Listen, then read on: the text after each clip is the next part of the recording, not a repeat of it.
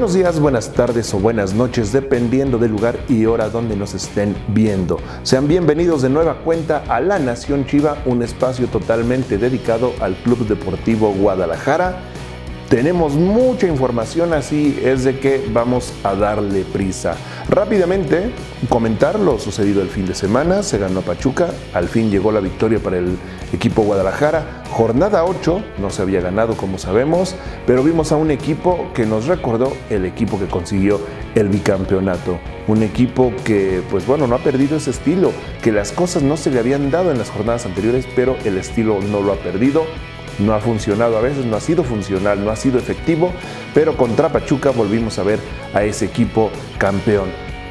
Eh, un muy buen primer tiempo, un muy buen primer tiempo donde pues las Chivas consigue esta ventaja de tres goles. Me recordó pues al torneo pasado por ahí de medio campeonato cuando Guadalajara tenía muy buenos primeros tiempos y al final se nos caía un poco pues bueno, esto tiene que ver también un poco eh, con la capacidad física, con la preparación física, también con la estrategia del rival, ¿no? Que pues te, analiza un primer tiempo y para el segundo tiempo, pues también el rival cuenta y también modifica un poco su planteamiento. Hablando de lo físico, pues bueno, recordemos también que Chivas no tuvo una buena pretemporada, hubo muchos seleccionados, hubo lesionados, no lo digo como pretexto, simplemente para contemplar y pues bueno, pensar y detectar cuáles son las fallas de nuestro equipo. En general, eh, todos los jugadores bien, tanto que pues eh, la liga eligió a tres de nuestros jugadores para el equipo de la semana,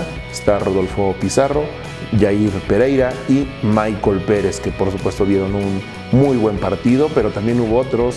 Este, pues bueno, mencionaría a muchos, es más, a casi todos, me parece que pocos tuvieron eh, fallas, realmente fue un, fue un buen partido por parte de Chivas y esto los deja en buena posición. ¿Por qué? Recordarán en la emisión pasada estábamos, hablábamos de que Chivas estaba a seis puntos de zona de clasificación y estaba a nueve equipos de esas posiciones. Bueno, ha recortado esto, ahora Chivas está a cuatro puntos de zona de liguilla y se interponen siete equipos. Así que pues hay tiempo, vamos a ver eh, cómo se desempeña el, el equipo.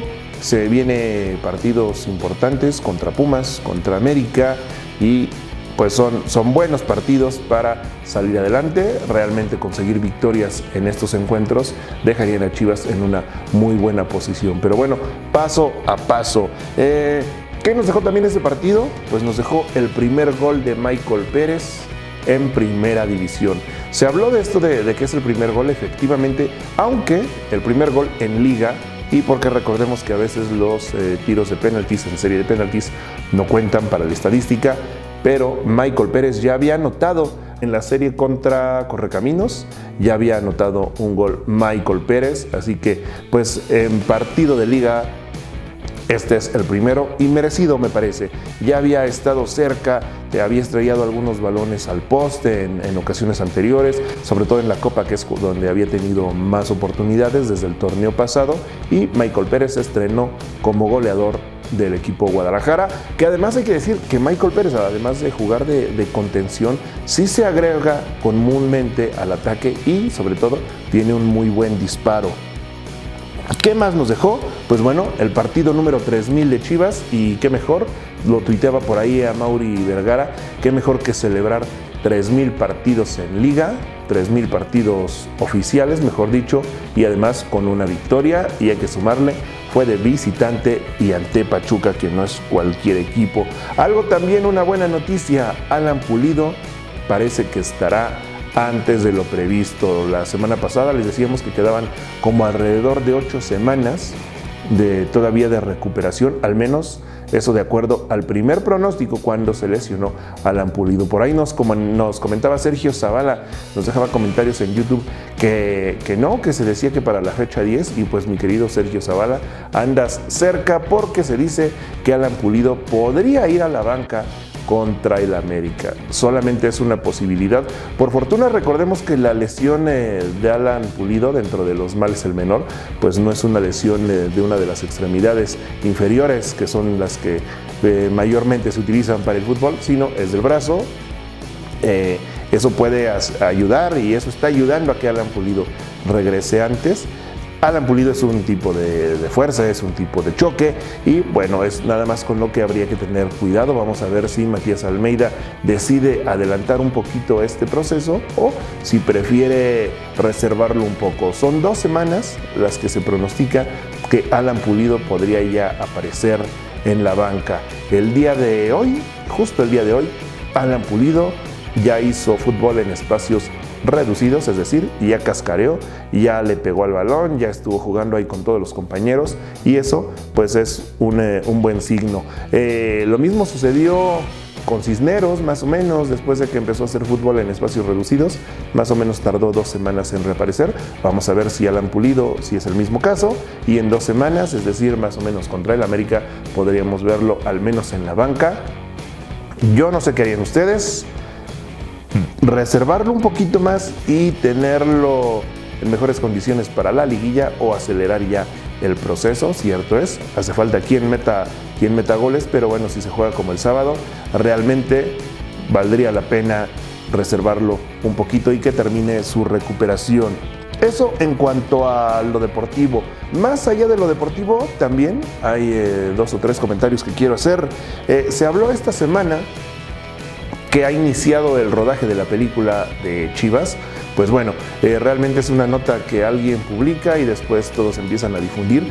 Realmente esta película del Club Deportivo Guadalajara tiene más de un año que se está realizando. El mismo Amauri Vergara lo comentaba cuando el Guadalajara consiguió el campeonato, en alguna de las tantas entrevistas que se le realizaron por el campeonato, él comentaba que ya tenía más de un año o cerca de un año de haber estado trabajando ya en la película de Chivas. Cierto es, Alan Pulido por ahí eh, compartió algo de lo que le, tocó a él eh, hacer, de lo que le tocó eh, en lo que tuvo participación y a partir de ahí los medios empezaron a difundir que la película ya se estaba iniciando. Pues no, ya tiene rato que se está haciendo y bueno, esperemos que sea una buena película y yo creo que pues me interesa ver, será bueno y será interesante y agradable ver el trabajo de Amaury Vergara en el cine.